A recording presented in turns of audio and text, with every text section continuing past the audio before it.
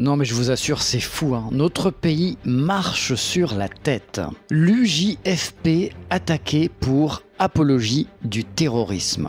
Pour les gens qui ne connaissent pas l'association, l'UJFP, c'est l'Union juive française pour la paix, donc aux antipodes de la politique de Benjamin Netanyahou. L'Union juive française pour la paix a été fondée à Paris en avril 1994. On peut lire sur leur site que le sionisme a abouti à la création de l'État d'Israël qui nie le peuple palestinien et ses droits. L'UJFP, en la personne de son directeur de publication du site Daniel Levin, a été convoqué pour apologie du terrorisme.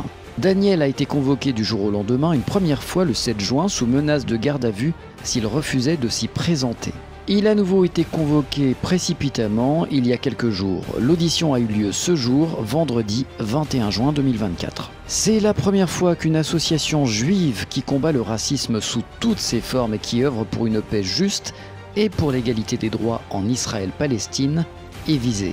Le droit international est la boussole de l'UJFP, que les actes soient commis par des Palestiniens ou par des Israéliens, et Daniel a insisté sur ce point fondamental au cours de son audition. L'association Jeunesse française juive JFJ, spécifiquement créée après le 7 octobre 2023, porte plainte donc contre le JFP en faisant une interprétation erronée du communiqué de l'association et de la tribune visée. Voici la tribune qui est intitulée Ça suffit, le concert des nations pro-israéliens résister à un occupant illégitime. Le fait que cette plainte soit relayée par le parquet antiterroriste à l'encontre de 40 personnes est bien sûr une nouvelle tentative probable de criminaliser les voix de celles et ceux qui expriment leur indignation devant les craintes d'un génocide en cours à Gaza et montre le décalage répressif de la politique française par rapport aux prescriptions du droit international auquel elle se dit pourtant souscrire.